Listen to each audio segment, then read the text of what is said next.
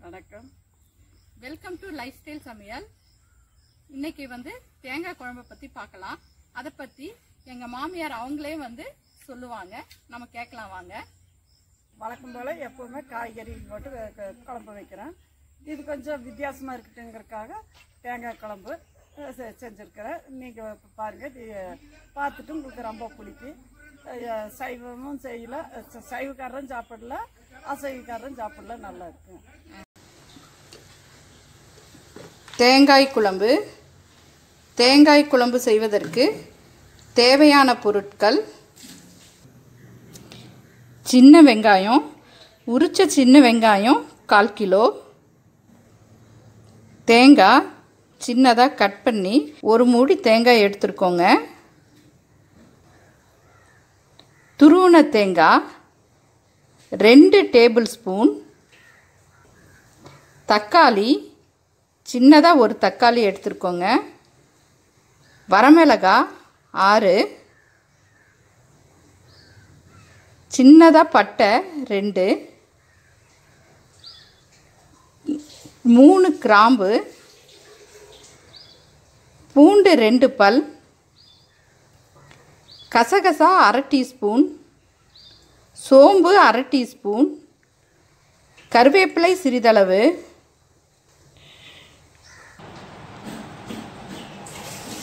தனியா ஒரு table spoon மஞ்சள் தூள் அரை டீஸ்பூன் தாளிப்பதற்கு கருவேப்பிலை சிறிதளவு ஒரு வரமிளகா அரை டீஸ்பூன் கடுகு. எண்ணெய் தேவையான அளவு உப்பு தேவையான அளவு அடுப்பில் கடாயை வச்சு ஹீட் பண்ணணுங்க. அதில் ஆயில் விடணும்.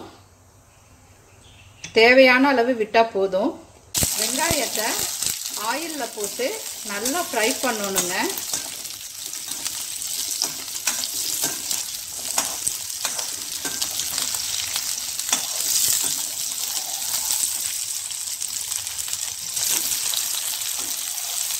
தக்காளியையும் போட்டு வதக்கணுங்க. முழுசாகவே தக்காளியை போட்டுடலாம் கட் பண்ணி போடணும்னு அவசியம் இல்லை.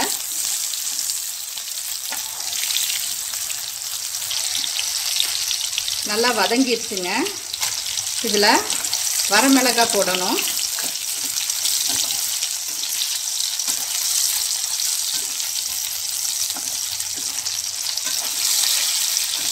வரமிளகாவும் வத வதங்கிடுச்சுங்க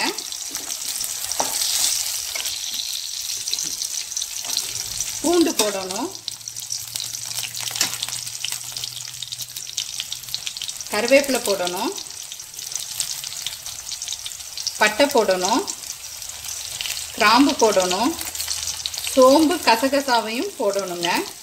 போட்டு நல்லா வதக்கணும்.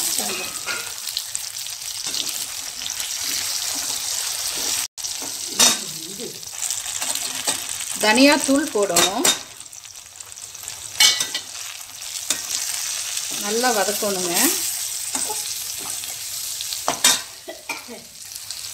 தேங்காய் போடணும்.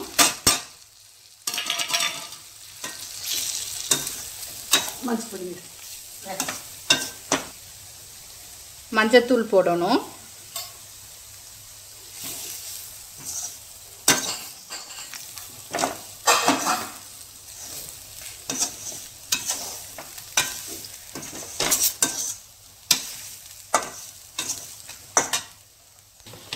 எல்லாம் வதக்கியாச்சுங்க.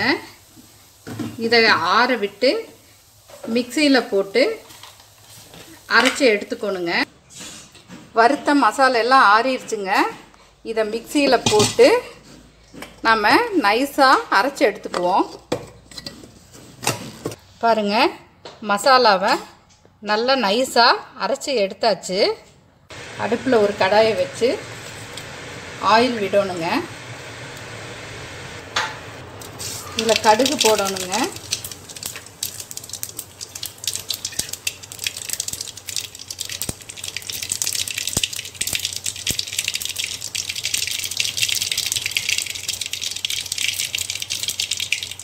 கடுகு பொரிஞ்சிருக்கு.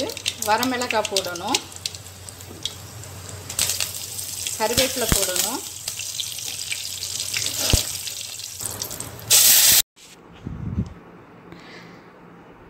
மசாலாவை போடணுங்க.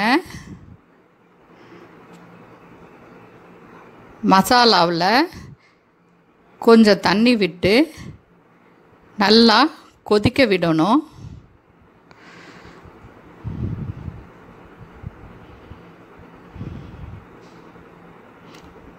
கட் பண்ண தேங்காயை போடணும். தேவையான அளவு உப்பு போட்டு நல்லா குழம்ப கொதிக்க விடணுங்க. சுவையான தேங்காய் குழம்பு ரெடி ஆயிடுச்சுங்க சுவையான தேங்காய் குழம்பு ரெடி ஆயிடுச்சுங்க இதை செய்து பார்த்துட்டு ஏதாவது டவுட்ஸ் இருந்ததுன்னா கமெண்ட்ஸில் போடுங்க.